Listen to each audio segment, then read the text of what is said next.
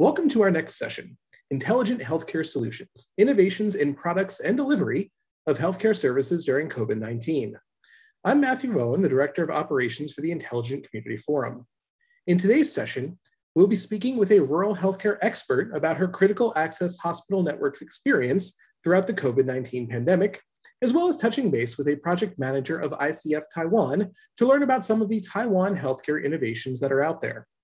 Now, if you're interested in healthcare, as well as the experiences of community leaders, healthcare professionals, educators, futurists, and more throughout the COVID 19 pandemic, you might want to explore our No Place But Home video series released throughout the past year.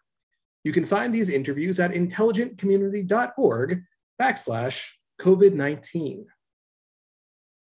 Joining me now is Pat Schou, the Executive Director of the Illinois Critical Access Hospital Network, the first statewide critical access hospital network.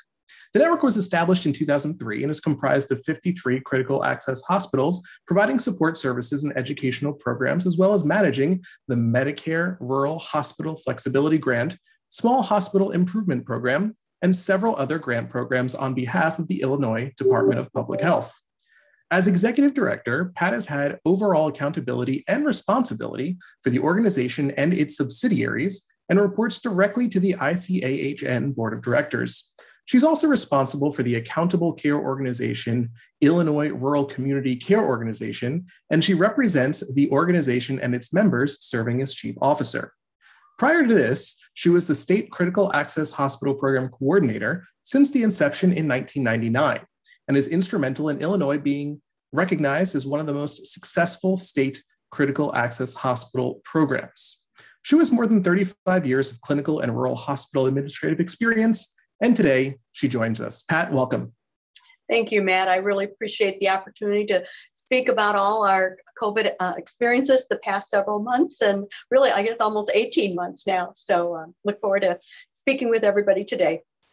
Yeah, as I've been looking back on this, it's, it, it is now that I keep saying, seeing that figure 18 months, it always feels like a surprise because it's been that long, but it really has. Um, so, you know, I, I do want to get into some of the innovations and all of that that you might have learned during COVID, but I, I have to ask you first, how are things going? What is the current situation within the network with patients, vaccinations? What's going on? Okay, well, that's a fair question and a, and a big question at this point. But, uh, you know, uh, like other uh, hospitals across the country, our Illinois hospitals and small critical access hospitals, uh, we fared through it fairly well. We had our points of pressure uh, last fall when, you know, we were maxed out and everybody surrounding us were maxed out. And we were most concerned because uh, small hospitals have limited resources, limited staff and, and equipment and things like that, and couldn't even transfer patients to other facilities because they were full or we couldn't get people to transfer and um, you know staffing was at a premium. So um, we weathered this storm and then as as we progressed through 2021 the vaccine became available. And you know we're seeing now uh, in illinois lowering of the um, you know positivity rate and and people being you know a good portion of our, our people in illinois vaccinated just like across the country we're seeing you know that area. And rural hospitals and communities were a little slow to respond to the vaccine. You know we just couldn't get it fast enough you know, when it came out because it came out to the larger areas first. And then now it's to our rural facilities and it's pretty readily available. I can walk across the street to Walmart and, and get a vaccination today if I needed to. But for the most part, um, we, we've done that. The hospitals report to me, uh, the small hospitals, rural hospitals, that um, they're back to probably on a scale of one to 10, 9, 9.5 of their business pre COVID. You know, um, they really have pretty well bounced back. You know, there are a couple of areas that they're still down a little bit. The emergency department, uh, we're about 10, 15% down from uh, pre COVID. And that probably relates to people found other ways of getting health care, you know, when emergency, non emergency situation. I'm talking about um, you know, non necessary visits, you know, you could wait until tomorrow. And they've used virtual telemedicine to do that. Or, you know, like I said, they've gone to more convenient care places instead of the emergency department. So rural people have started using the, the emergency department a little more efficiently. The other areas is um, um, back to uh, gaps in care, you know, where they have prevention screenings. They're pretty well back to normal, but they're still a little down in some areas.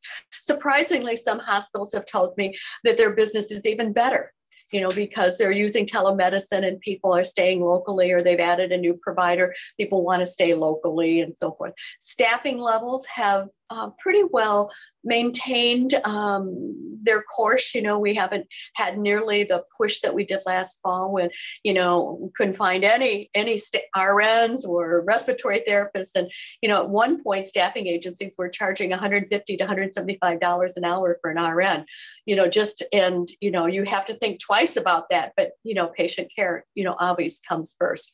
But anyway, I think the staffing levels have have really maintained themselves, and um, you know, the the big question is is getting uh, support staff, dietary workers and, and housekeepers and people working in the business office, non-clinical people, be, uh, because of other areas across the country and businesses are needing, you know, people back to work as far as vaccination rates for um, hospital staffs, I would say we're around 60% for rural, you know, something like that.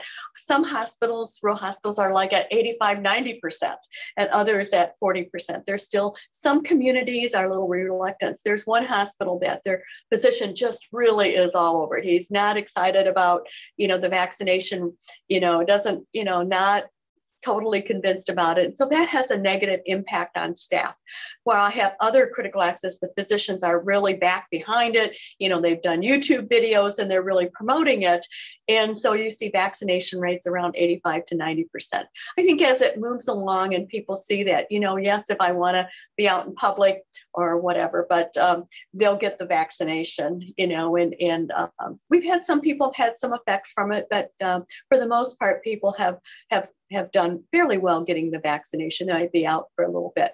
Uh, I don't think any of our hospitals are giving days off if you get the vaccination, you know, um, in, in uh, recovery, but uh, you know, clearly uh, it's it's still it's made a difference with uh, positivity rates going down and and uh, patients aren't quite as sick. I mean, we still have a few patients uh, in talking with some of the hospitals, a few patients that are coming in with COVID, but they're not as dramatically ill as they were uh, this past fall you know even you know the new variant we're, we're not seeing the um, impact as as we had. But they're still you know coming in uh, there's still some recovery you know people that were quite sick with covid. You know we have them in our, our skilled nursing units in our hospitals and they're you know slow to recovery with rehab and and so forth. Well um for the record i i you know when i got my second dose of the vaccine i got it did knock me out, it knocked me down for a day it took me out. It, you know, it it it uh, it was not a pleasant day, but you know, we got past it. Um, and thankfully, I was lucky enough that I did get a day off for that. Oh, um, oh, luckily enough, luckily enough. Uh, and you mentioned telemedicine. I, I want to get back to that in, in just a second, but you spoke a lot about small hospitals and the stresses that they felt in terms of running out of space for patients or the inability to transfer patients. Now, when you say a small hospital, what size do you mean by small? Because that obviously could mean a lot of look things. At critical access hospital, there's 25 beds or less. There are a few critical access that have built new buildings and have only uh, built 17 inpatient beds. And so when you have that, now granted with the public health emergency, which still is in effect, you know, you can expand bed capacity as you need to. That's not been a problem, but you still have to have staff. You've got to have physicians to take care of them and, and the uh, supplies and, and the testing and things like that. And what's, um, what's good is that early on we didn't have available testing. The hospitals didn't have the um, COVID testing, the PCR uh, equipment, and now they have that available and and you know but um, so you know we can pretty well take care of patients uh, locally. We don't have to send things out. Uh, we've been able to get the antibodies. We've been able to do the treatments. And so um, it moved along fairly well. And and um, as far as the the ventilators um, you know we st- we obviously have them available and staff are trained. We did some real uh, fast training you know last fall when uh, we couldn't transfer mm-hmm. patients mm-hmm. but now we're able to do that. And if they need to go to uh, more advanced care, we can get them there and uh, so forth. And so it's pretty well back to normal. The hospitals are keeping our smaller rural hospitals are keeping a few more of their patients because their uh, skill sets have uh, expanded a little bit and, and we're using telemedicine. You know, maybe we can keep that patient locally instead of having to transfer them 45, 50 miles. And so it's a little, it's a plus there if you look at moving forward. Sure. Um, let's go back to kind of the start of the pandemic when all this really started to build up. And I guess for you, that would be the fall is when that really kind of hit its apex. Right. I, I think probably August, September is when, you know, rural actually overtook urban areas, you know, the percentage sure. of, of people affected and, and, uh, it because there was really the virus had just come to the the rural areas there was no place else for it to go and and you know obviously we weren't vaccinated and you know for the most part people were social distance but it really the impact hit very, very hard. Um, you know, hospitals had really set up, you know, their COVID units, and so they were set up. It was just the stress. You know, you know, there were times hospitals had to call 18, 20 uh, referral centers to transfer a patient, even if somebody experienced an acute heart attack you know, acute myocardial infarction, uh, and that was that was really uh, scary. And not that the hospitals can't treat them, but they know that maybe interventional cardiology was better, that they could have, you know, this a stent put in, and instead having to wait. And so that was a little concerning. You know, you're trying to get people to the right level of mm-hmm. care, and just because smaller hospitals don't have cardiology you know you want to make sure you take care of it but these were non-covid patients and so right um, you know, we had to make those adjustments. It could be stroke or sustained injuries, you know, a variety of things like that.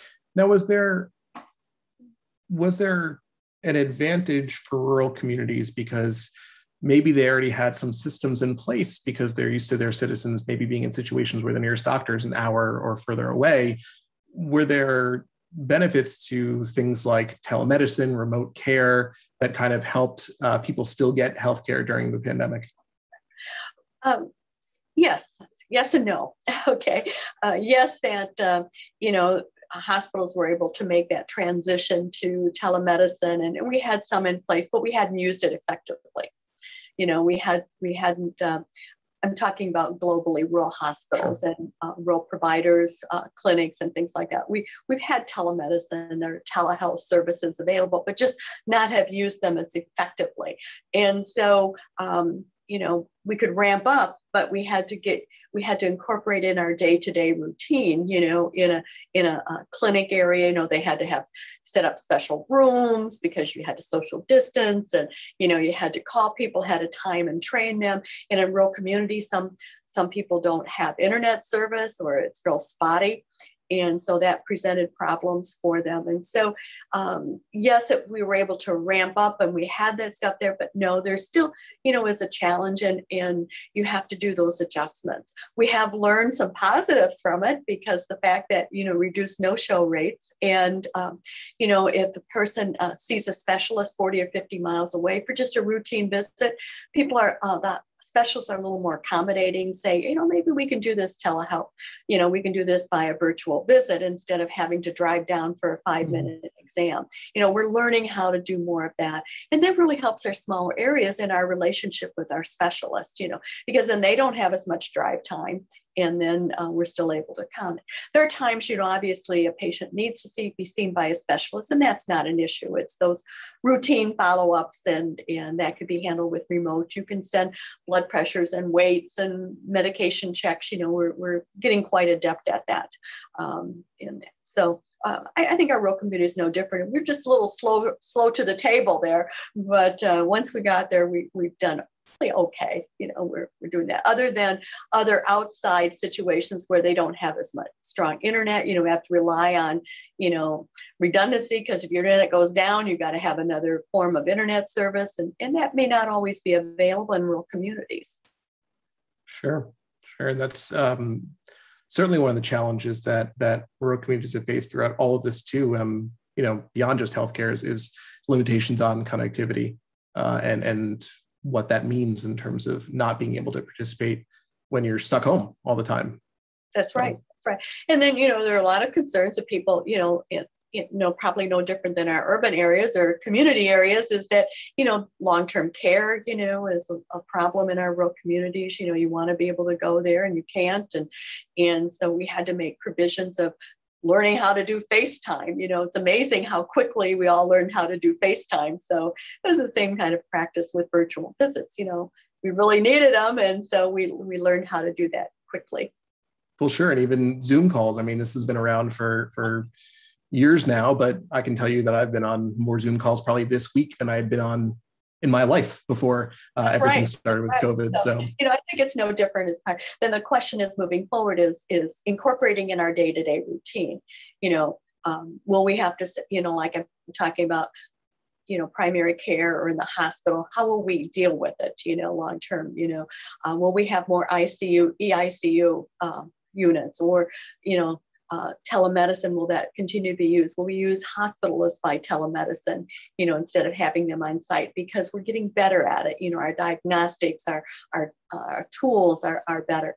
That still that uh, question is not fully answered yet because we're still through that delivery process there. And you know we saw a big drop off in virtual visits you know this spring because you know people started you know they opened up the many of the states opened up and people could go back to their primary care or hospitals for their routine and, and prevention measures. And so we saw less virtual visits and things like that. So, uh, but we still have people that want it. So we're we're trying to work that through our schedule. So how will we incorporate it, and how will we plan? Will there be certain days?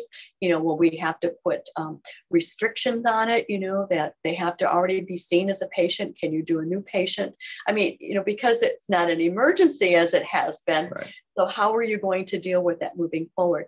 And then we think about, you know, in Illinois just passed a, a new telehealth um, guidelines for us and, in reimbursement. And so we're really excited about it. But that also opens up the door for people from other states using telemedicine to connect with our hospitals. And, and how will we accommodate that? You know, um, using that word accommodate, how will we adjust to that? Will they have to be a patient, established patient? You know, somebody from Texas wants to uh, provide services for hospitals in rural Illinois. How are they going to do it? You know, credentialing and, you know, safety and what if they need local care, but yet they're seeing a physician in Texas? You know, all those things have to be learned. You know, we've been around, we know about it, but it, it now we have to implement. I, I guess one of the positives that came out of all this, if we can try to focus on the positives, is that there probably were a lot of lessons learned in terms of how to increase the efficiency of these programs or expand into other areas that maybe they hadn't been doing so before. Um, you know, so that's definitely a positive. Uh, on that note, you know, we talked about telemedicine, but is there anything else, just kind of new innovations that you've seen in the past 18 months that you know, really weren't around before? Yeah, uh, rural hospitals, particularly that you know I work with, they're talking about um, how they can support staff better. I think we looked at staff having to be resilient, you know, to get through the crisis. And they did. They mustered up and, you know, people, you know, staff work multiple shifts, you know, extra shifts, you know, a lot of things like that. But the communication, the support from leaders is how do we keep that, how do we keep them resilient? How do we, you know, some of them are burned out. So how are we going to help them? And, and so I think we've really focused on employees and, and recognizing them for their work and their positive attitude and, and supporting them and you know offering them you know recognition or maybe they need some therapy. You know some people have had um, post-traumatic um, stress syndrome, you know, from all this, you know, because it was really hard. They saw loved ones die, especially in a small community. You know everybody for sure. the most part. And you're taking care of loved ones and you didn't want them to get COVID, you know, and they got COVID and and we all wondered about that. And so people internalize things differently. But I think hospital leaders have had to look at that, particularly different in our rural communities, because we know our, our employees is how are we going to take care of them? What's what's going to resonate with them? And and um, like I said, creative, you know, we also have to look at our um, master plans, you know, our building plans. Will we have to make adjustment in patient care rooms? Will we have to change efficiencies around because we want to seg- we want to segment um, outpatients in one area and inpatients in another. I mean, you know, because of infection control practices, you know, are we going to have more screening sites available and and those kinds of things that you have to look at. Um, I think are different. Those are came out of it. Some other programs like um, safe um, safe hospital programs, you know, where you're showing you're having programs where uh, the public knows that you've got top-notch safety infection control practices you know and things like that there's some things that they want to reassure the public particularly like i said in a small community you, you want to make sure that your, your small hospital has the best of the best. And so they've participated in a number uh, of these programs that show that they've done the safety measures, infection control practices, you know, to the upper level. Uh, let's see, some of the other programs, um, so I think people have learned how to, our clinicians have thought more intently about the care of their patients care coordination has really risen to the top of it. What kind of programs do we have in place? You know, getting the patient through the, like a COVID patient, through the intense illness and then the recovery. You know, that recovery is different. We've got some hospitals, uh, critical access hospitals looking, well, should they really focus and become a COVID recovery hospital? You know, and, and looking at their rehab services and how can we expand them and to help people through that recovery process. That maybe people come from many other areas.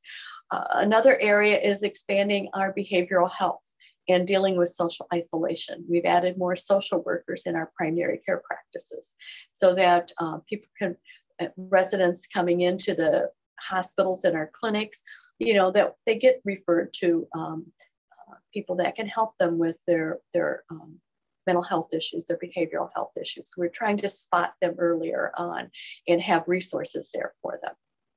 Not necessarily new, but I think it's risen to the top. We have seen more um, drug um, induced illnesses and because of the social isolation and, and, so you know not only do we have looking at social workers to get that initial review and uh, but also therapists that can really work them through those processes. I'm seeing more numbers of medication assisted treatment programs springing up in our rural communities that, you know, more practitioners have taken the course to help people through, you know, substance use disorder. And so those are positive things. I think we've been more intentional about that. The other thing is, I think um, hospitals learned, uh, particularly rural hospitals, because you're really caring for the whole community. That rural hospital is the center of care. You don't have three hospitals in, you know, two or three mile radius. You know, you have one hospital taking you know radius of 30 35 miles and so you you're really kind of the center of all that and so we had to develop really intent working relationships to get through COVID. You know, so we looked at what resources we had, what vaccines were available, you know, all those things. We had to have a constant communication. And our hospitals realized the value of that communication. We kind of lost it with electronic records, you know, we got all hung up on electronic records were going to be our communication tools.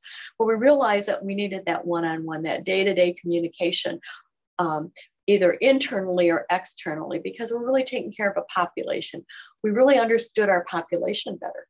You know, when you think about, you know, you're the sole source for this population with your partners, public health, you know, mental health, ambulance, that you're the caretaker. You, we're kind of locked away from everybody. So how are we going to provide care for? So I think it was really a, a recognition of that responsibility and the value of that partnership and, and ongoing communication. So, um, and I wish we could talk about this for another. But it, it really rose to the top, and I think communication strategies, you know, are the innovation. Is every people do it differently. So that that kind of leads me to the last thing I want to ask you about, and and this is not like I was saying, this is not the last thing I want to ask you about. I wish we had more time, but we've got uh, you know our next session coming up, our next speaker that we're going to get to. Um, but I, I do want to ask you this. Now, uh, a lot of our audience is going to be leaders within the public sector, community community leaders, mayors, city managers. Um, you know, you talked about the effectiveness of communication. How can community leaders work to support their hospital networks, or even make citizens aware that this kind of stuff exists and that this access to healthcare is out there? What can community leaders do in all this? Well, I think most important is that outreach they can, these uh, local policymakers can develop ongoing communications with hospital leaders. And that the messaging has to be similar. You know um, the mayors can't be saying one thing and the hospital leader is following cdc guidelines and you know we've got to really work together. That's really the value and the importance of it. And i think local leaders can work with hospitals and ask them what are your what are your financial what are your building needs? How can we support you as you transform and, and look at healthcare differently? How in mm-hmm. future pandemics what do we have to do locally? What are our gaps in care what are our gaps in resources? Is it food available food? Is it getting um, clinical staff available to help other population? How do we do outreach to um, homebound people? What's our transportation system getting people in and out? You know, the ongoing communication boards. I mean, those are things that I think we have to be all part of each other's planning. We can't be policymakers. We can't be long-term care here. We can't be hospitals here. We can't, you know, we have to we have to really begin to really work at our population at home. So it's that outreach and developing that long-standing relationship that we're all in this together.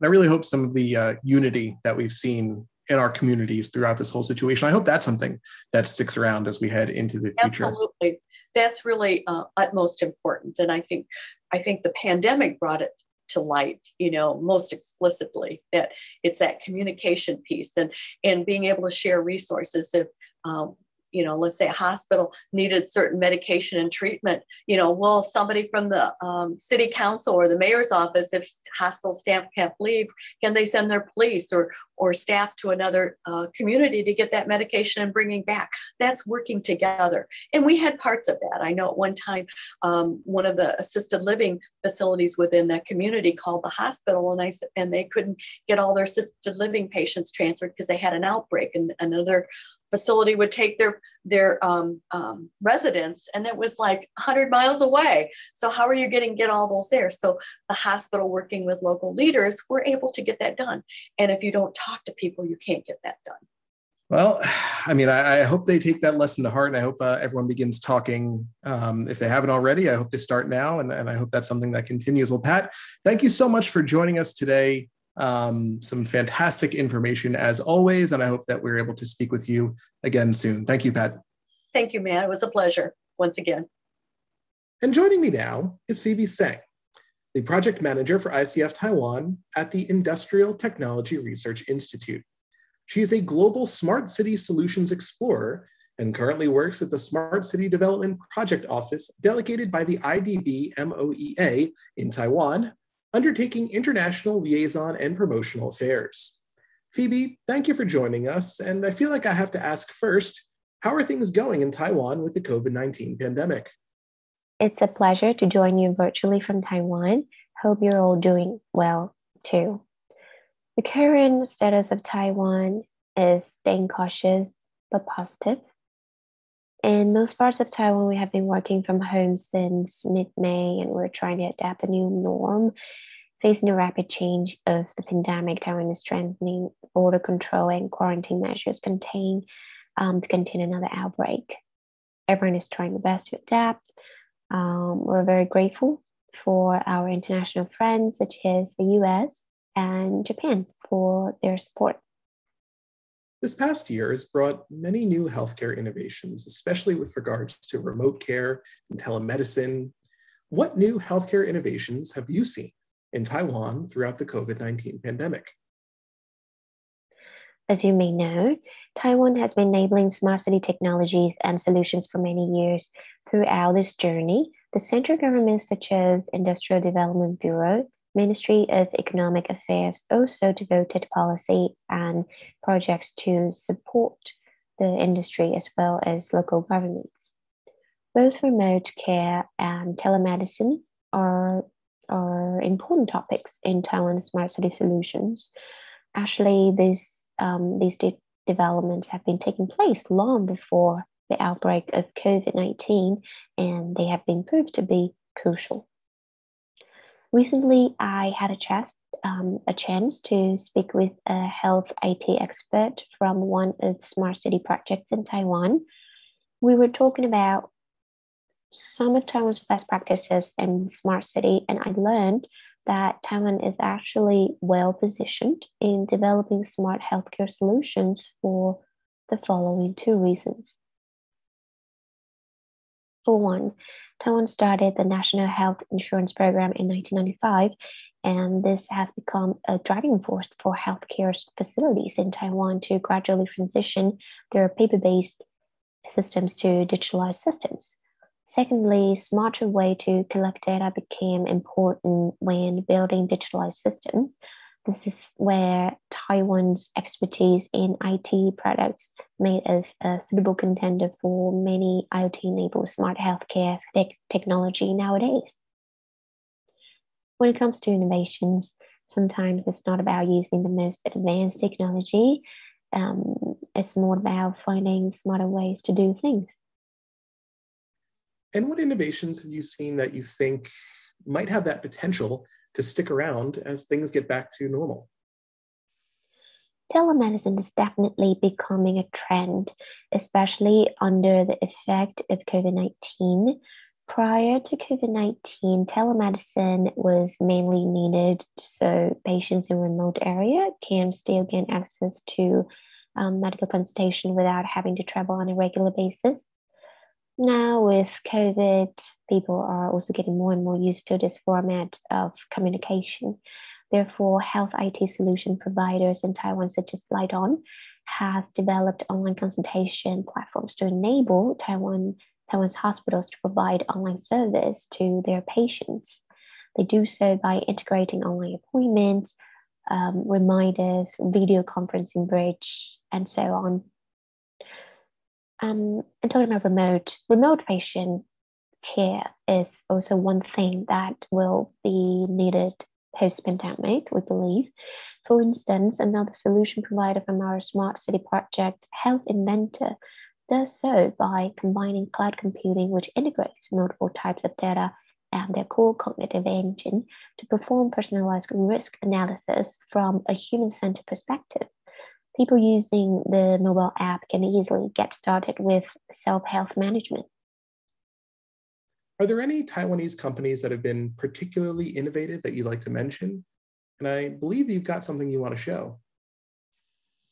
Taking ADV Meds as an example, they're innovative in um, a sense that they use technology to help improve the current workflow Given the outbreak of COVID 19, the standard practice for patients entering the hospitals requires frontline hospital staff to take notes of the contact info, travel, or, or occupational history, and so on.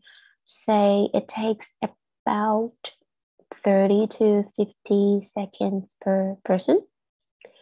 At first, um, it was done by pen and paper, and it posed as a potential risk for spreading the disease actually. And taking this into consideration, ADV Med solutions minimize the fuss by effectively integrating data on their platform. What use um, what used to be done manually by pen and paper now can um, can now be completed via a web and an app, as well as measurement devices integrated with IoT. As a result, they can shorten the time required significantly. Additionally, I would like to share how the other company from the Smart City project, Fashion in, um, Intelligence, is doing to fine tune the existing solutions amid COVID-19 pandemic a little background of their solutions. Originally, they focused on using positioning service incorporated into a wearable device, such as a bracelet or a lucky charm to help prevent elderly from getting lost in their neighborhood. Here, I would like to share a short clip of Kent, General Manager of Fashion and Intelligence, on what they're doing to help the quarantine situation. I want to introduce our reference in overseas for COVID-19 prevention bracelets. So uh, our bracelets can do the whole process of the quarantine. Uh, at first, when the international arrivals, maybe your citizens come back to your nation or the travelers, when they get into the airport and while they uh, be quarantined in their house or in certain like uh, hotels. And in the end, when they when their quarantine is dismissed, the whole process we can track and monitoring. And once something unusual happened, our system will notify the control center immediately. So here are the whole roles of these uh, uh, COVID-19 prevention uh, scenarios. First one is uh, airport desk. So when the uh, arrivals come to the desk, they have to do the registration of our system. And the, the registration will be very, very easy, less than three minutes. Uh, start from your arrival, the uh, airport, to the end of the registration, three minutes.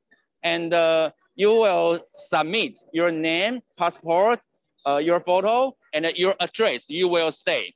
And we will make sure the address is the exact address you will go. If you select certain address and you do not go to there, uh, really, the system will check and uh, send the notification to the control center. So how do it do? You scan a barcode, a QR code in the airport, and there is a, a, a page. You have to fill in your personal information, and uh, the system will immediately use Google to reveal the destination you are going to. So the uh, traveler or arrival have to make sure, yes, I'm going to here. So if you didn't, uh, if you don't go to the exactly destination you assign, the system will trigger alerts. And uh, after you uh, complete the registration, you have to go to your places. During the uh, traveling time, the system can preset like half hour or three hours, depends on the travelers assigned dest uh, destination. And uh, if you go to the, uh, after you come into your places, the dashboard will manage all of your behaviors for COVID-19 only, for COVID-19 only. So you can see a lot of colors, which shows the unusual behaviors for the quarantine people. So if during the 14 days, you didn't do, you don't do anything unusual, nothing will be triggered. Well, thank you. And thank you for sharing that clip. I'd actually recommend that anyone who's watching this goes and registers to watch the Smart City Virtual Trade Mission to view more information about this and other Taiwanese companies. It can be found on icf-taiwan.com, but that's not the only place that one can go to find out more, because I know you've been working on a platform. Can you tell us a little bit about it? Since last year, we have been building and constantly updating the platform www.smartcitytw360.com. Not only can you find Taiwan's uh, healthcare solutions on the website, there are other fields of solutions such as transportation, agriculture, governance, retails, and more. So if you wish to know more about Taiwan solutions or healthcare solutions, please go onto the website. Well, thank you. And thank you so much for joining us. It was great to see you, Phoebe. Thank you very much.